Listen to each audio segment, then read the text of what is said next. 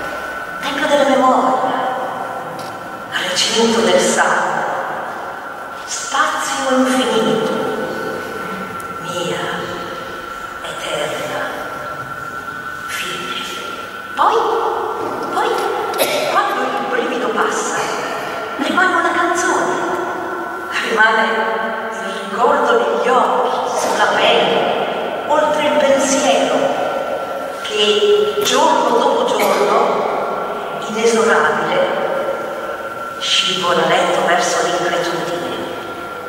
Verso la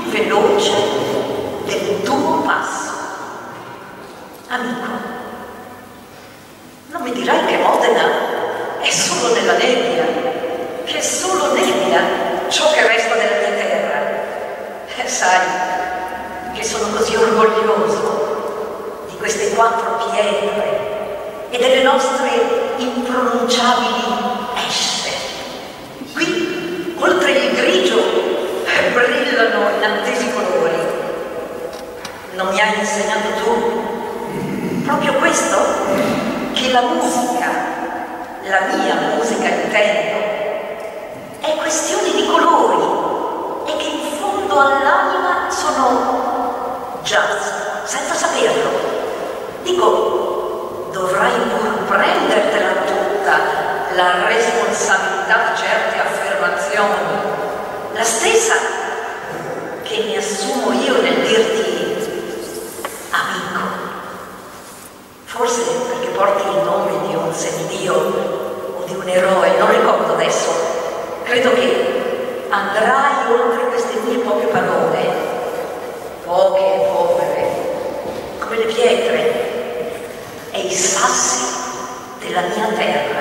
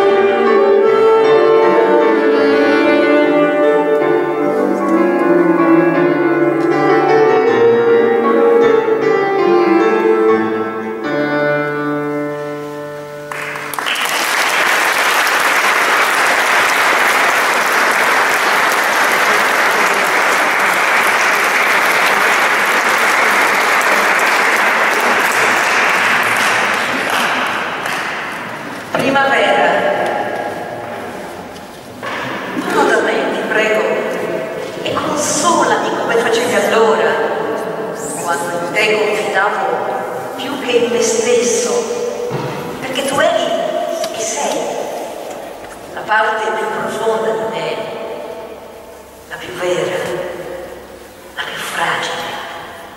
E vieni a me poesia, come nei giorni in cui mi illudevo non capivo che il mio tempo è alle prove, è già stato liquidato come si liquida il passato con un singhiozzo, un sospiro, un nodo alla gola. Ora che tutto è crisi, illusione, disillusione, si combinano nelle giuste proporzioni, secondo natura.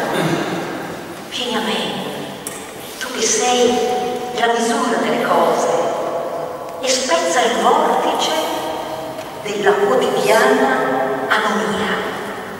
Torna da me, ti prego, poesia, torna con tutti i tuoi nomi come un tempo e donami la luce, donami la speranza, poiché nulla rimane, ma non tutto si perde. Che senso ha scrivere? Che senso ha scrivere? chiedeva immobile a mezz'aria la voce inquisitoria, circa i limiti, gli scopi propri di quest'arte mite, silenziosamente antica, nobile. Senso mai succedersi dei banchi del vento, replicava l'altra voce, quella inquisita, quasi sull'attenti alzando fiera e scaltra seguitava. Scrivere è senza senso, come vivere. È un vizio che accompagna ogni respiro.